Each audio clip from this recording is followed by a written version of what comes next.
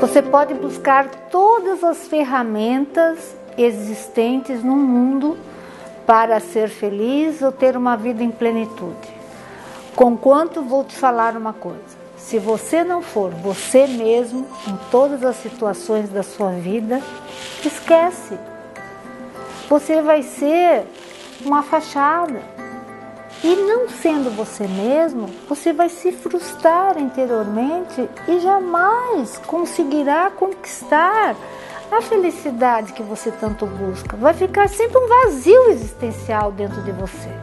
Então, se você quer se sentir uma pessoa plena, a pessoa feliz, uma pessoa que consiga realizar os seus sonhos, os seus objetivos e seguir em frente e se sentir bem aonde vai, tenha coragem de ser você mesmo. Quem te ama vai te amar do jeito que você é. Não esqueça que por trás de você tem uma história de vida de anos e anos e anos e você não pode mudar de uma hora para outra para agradar o próximo.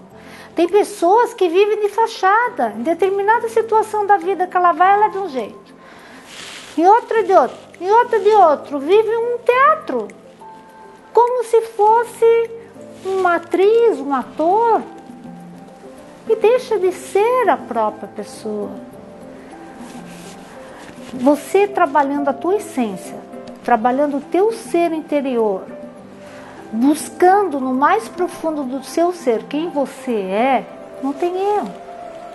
Claro, eu, você e todo mundo tem virtudes e defeitos.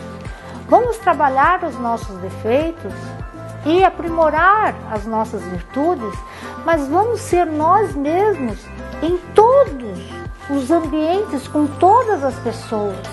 Não mate o que você tem de mais bonito dentro de você, que é a sua essência.